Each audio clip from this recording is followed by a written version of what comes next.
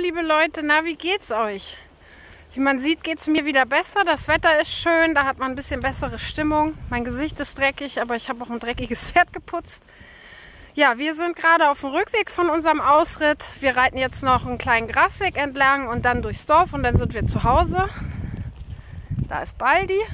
Kann man sie sehen? Ja, da. Ja,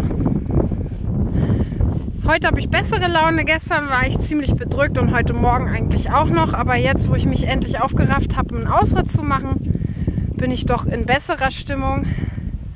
Weil man muss sagen, diese, ja, diese Situation, in der wir uns gerade alle irgendwie befinden, die ist schon ganz schön anstrengend und bedrückend für mich. Das ist auch vielleicht deswegen, weil die Grenzen nach Deutschland geschlossen sind. Ich wohne ja in Dänemark aber ich habe alle meine Freunde, alle meine Umgangskreise eigentlich in Deutschland und habe nur meinen Mann, meine Schwiegereltern und die Nachbarn hier in Dänemark. Ähm, ansonsten habe ich nicht so viele soziale Kontakte, auch sowieso in meinem Alltag nicht. Bin ich viel, ja, vormittags und nachmittags, also bis um vier bin ich eigentlich den ganzen Tag alleine. ja, sie begrüßt die anderen Pferde, die da sind.